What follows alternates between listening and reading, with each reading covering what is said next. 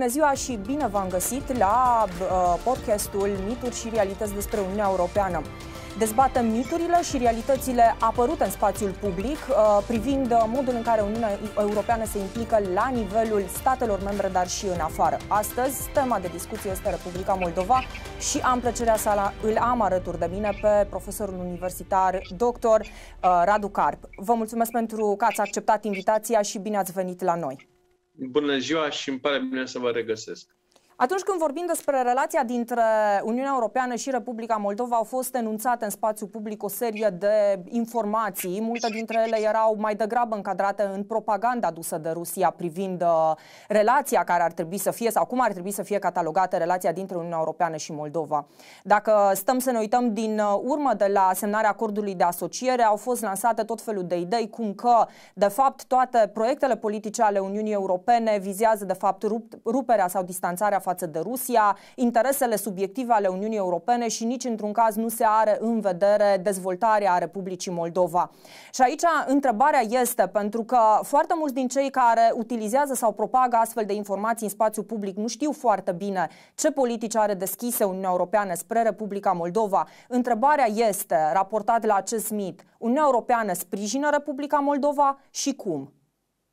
Uh, Republica Moldova s-a transformat din uh, elevul rău al clasei, dintr-un stat care avea un serios handicap în ceea ce este integrarea europeană, în timpul uh, regimului Dodon, în timpul în care Igor Dodon a fost președinte, a transformat în elevul bun, elevul premiant al clasei, în sensul că în momentul de față este, uh, aș spune eu, cel mai hotărât uh, stat și cel mai avansat stat din uh, cele care fac parte din parteneriatul estic în direcția integrării europene.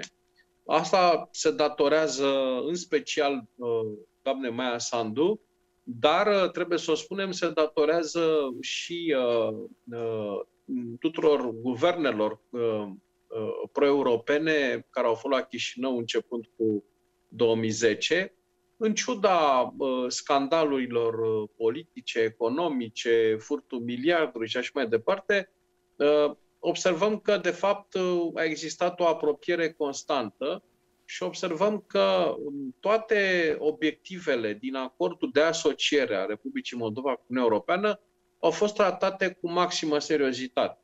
Deci partea moldoveană își îndeplinește la ora actuală foarte fidel obligațiile uh, care îi revin, uh, capătă în schimb uh, o finanțare europeană importantă și această finanțare este vizibilă în foarte multe proiecte care sunt în derulare sau s-au finalizat în Republica Moldova. În momentul de față, Uh, Republica Moldova a depus cererea de aderare. Uh, dacă nu ar fi fost războiul din Ucraina, probabil că s-ar mai fi uh, întârziat cu depunerea acestei cereri, pentru că tendința în Republica Moldova a fost de a depune cererea în momentul în care există o pregătire foarte serioasă care să facă posibilă trecerea la, la această etapă. Însă războiul din Ucraina a accelerat uh, uh, această dorință de integrare europeană și vedem că uh, nu numai că s-a depus cererea, dar s-a răspuns și la chestionarul din partea Comisiei Europene, care nu este unul ușor și care privește toate detaliile funcționării țării. Deci, din această perspectivă, există mult optimism uh, atât la Chișinău cât și la Bruxelles în momentul de față. O altă teză formulată pe, în jurul acestui subiect este că, de fapt, Uniunea Europeană se implică și deschide aceste discuții cu statele din Est și inclusiv cu Republica Moldova pentru a tensiona uh, relațiile acestor state cu Rusia. Uh, este acesta scopul Uniunii Europene? Nu, uh, trebuie spus uh, foarte clar că Rusia nu s-a opus și nu se opune aderării la Uniunea Europeană. Nici a Ucrainei, nici a Georgiei, nici a Republicii Moldova. Uh, Rusia se opune aderării la NATO și Rusia se opune oricărei inițiative de um, a integra aceste țări într-un sistem de securitate colectivă. Ori, din moment ce Republica Moldova este un stat neutru prin Constituție și din moment ce nu a discutat foarte mult această parte de securitate, și din moment ce trebuie să recunoaștem, Uniunea Europeană este încă la începutul definirii ei ca o alianță de securitate colectivă, uh, uh, Federația Rusă nu are nimic împotrivă. Am spune că integrarea europeană a acestor țări ar aduce beneficii și Rusiei, pentru că interesul Rusiei este ca aceste țări să fie uh, uh, prospere pentru a putea genera relații comerciale mai intense și cu Federația Rusă. Deci aici și pentru a avea o cerere de gaz mai mare, pentru că, evident, bunăstarea economică aduce după sine și o cerere de resurse mai mari. Așa este.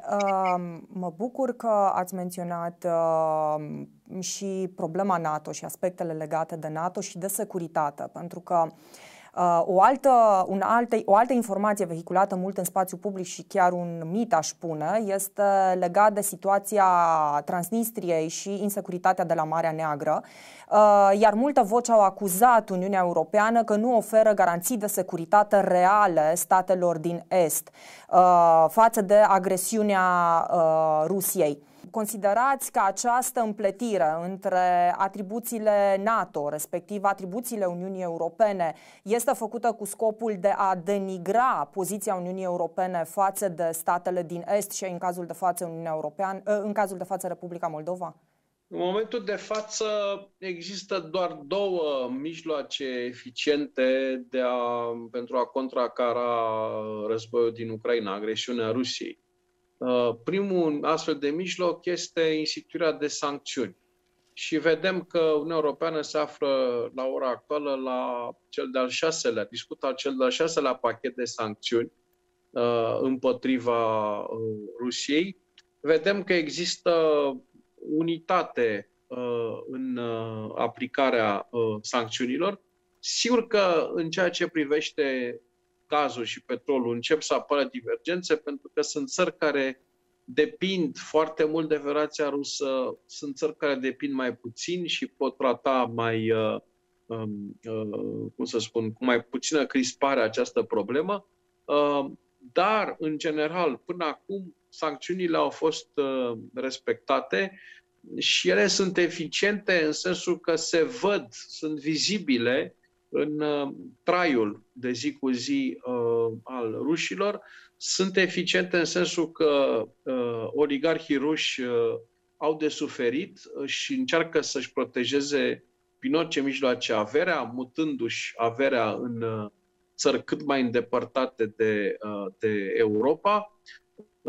Deci sancțiunile sunt vizibile, sunt concrete cei de la Kremlin sunt șocați de faptul că nu vor mai putea petrece vacanțele pe coasta de Azur uh, și vor trebui să redescopere uh, uh, Marea Neagră sau alte locuri din, din Rusia. Deci, sancțiunile au, au efect. În ce măsură ele pot opri conflictul? E o provocare enormă pentru zilele și săptămânile care vor urma. În uh, ultimele zile au fost o serie de tensiuni în Transnistria, explozii, iar uh, anumite voci politice, respectiv uh, din presă, au acuzat România că de fapt s-ar afla în spatele acelor acțiuni. Uh, scopul fiind uh, de a servi interesele NATO, respectiv a Uniunii Europene, adăugând în discuție și aceste uh, instituții. Cum comentați apariția unor astfel de informații în spațiul public și cum se integrează ele în acțiunile de dezinformare promovate de Rusia? În momentul de față vorbim de un conflict uh, pe scară largă. Un conflict care se desfășoară pe distanțe de nu de sute, de mii de kilometri. Vedem trupe care se deplasează de la nordul Ucrainei până în zona Donbass. Uh, uh, vedem uh, acțiuni militare la Micolaiv, dar în egală măsură în Lugansk. Deci vorbim de un, teritoriu, un conflict extrem, extrem de extins, din punct de vedere al acoperirii teritoriului și din punct de vedere al forțelor armate implicate. Un asemenea conflict este imposibil să nu atragă sau să se, să se încerce, în cazul lui, atragerea de uh, uh, alte țări sau alte teritorii în proximitate. Rusia a încercat să atragă Belarus uh, militar prin uh, sprijin oferit direct de către uh, soldații din Belarus. Uh, Lukashenko a refuzat, dar a pus teritoriul Belarus la dispoziția forțelor armate ruse. Același lucru se întâmplă în Transnistria în momentul de față. Uh, Federația Rusă vrea să atragă acest teritoriu în războiul împotriva Ucrainei pentru a lansa un nou front în Est, dar liderii transnistreni uh, nu doresc.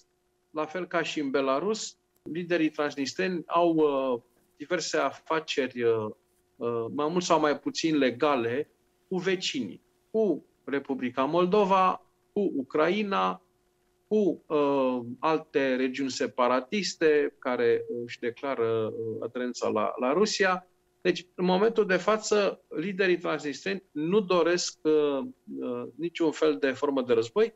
Ba chiar recent, la un meci de fotbal al uh, echipei Sheriff Tiraspol, s-a afișat un banner mare în limba rusă, nu războiului.